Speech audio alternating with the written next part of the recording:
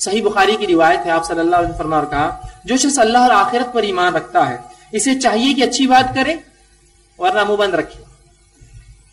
जो शख्स अल्लाह पर ईमान रखता है, रोज़े आखिरत पर ईमान रखता है, उसे चाहिए अगर बात करे तो अच्छी बात करे, वरना क्या करे, मुँह बंद रखे।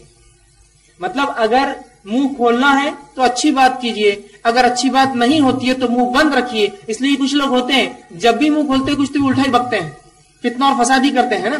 तो आप सल्लल्लाहु अलैहि वसल्लम कितनी अच्छी बात बयान कर रहे हैं? देखो, मुँह खोलो तो अच्छी बात करो, वरना मुँह बंद रखो।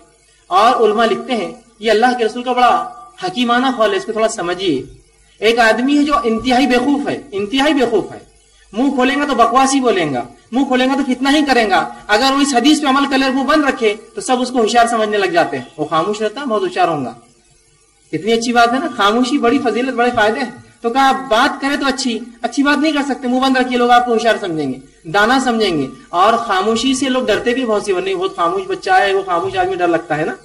तो कहा नहीं कितनी हकीमाना बात, मुँह खोलो तो अच्छी बात करो, वरना मुँह बंद रखो। वरना मुँह खोलोगे और गलत खोलोगे, अच्छी बात नहीं करोगे तो ये बात दुनिया और आखिरत का नुकसान लाने वाली है।